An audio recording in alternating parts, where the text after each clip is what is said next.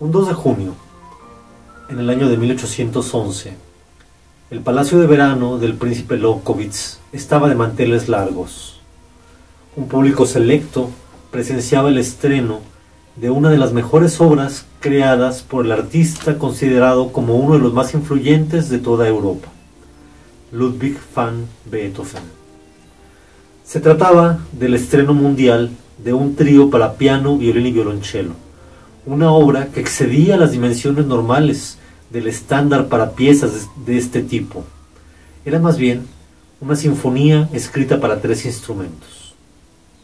Para el estreno, sentado al piano, se encontraba un aristócrata, el archiduque Rodolfo de Austria, príncipe de Hungría y Bohemia, y miembro de la Casa Real Habsburgo-Lorena. De todos sus protectores, el archiduque Rodolfo fue el más querido y estimado por Beethoven.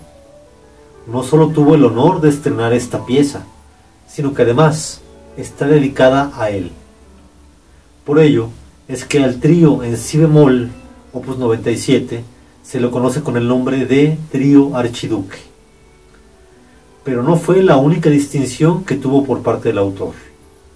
Es impresionante el listado de obras que Beethoven le dedicó, llegando a un total de 15 composiciones.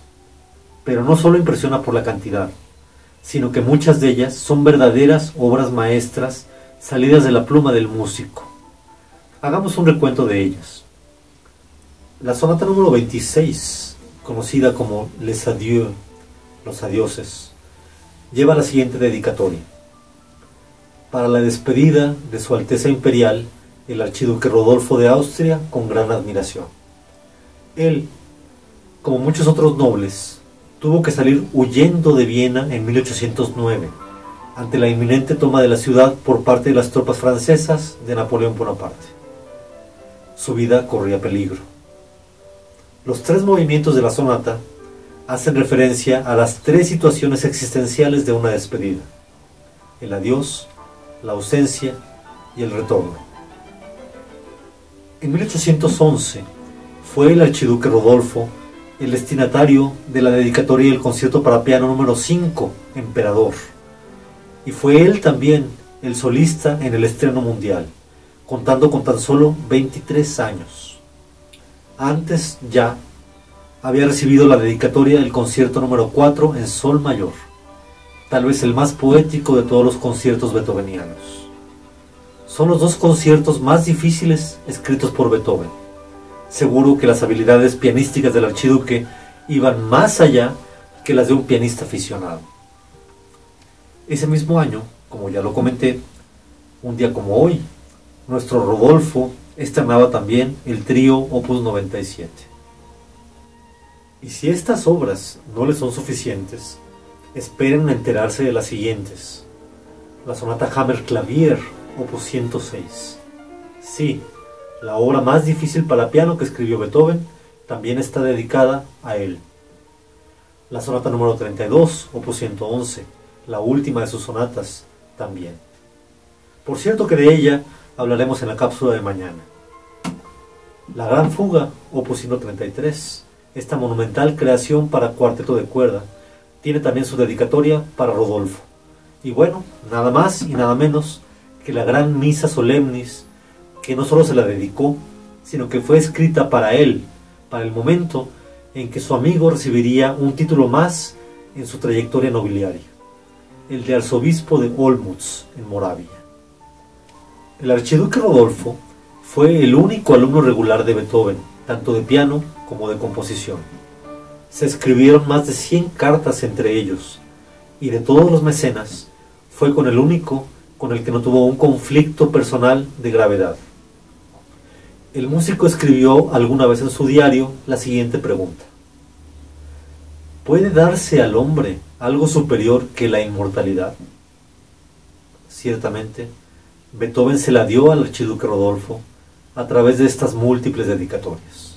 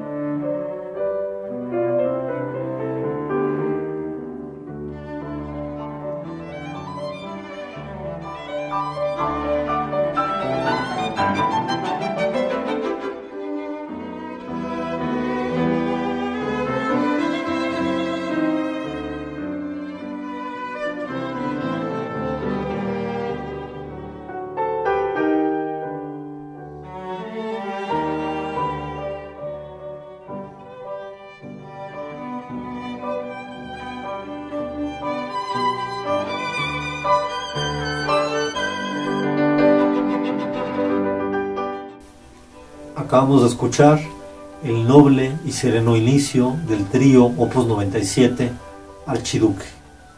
Soy Leonardo del Castillo. Hasta la próxima.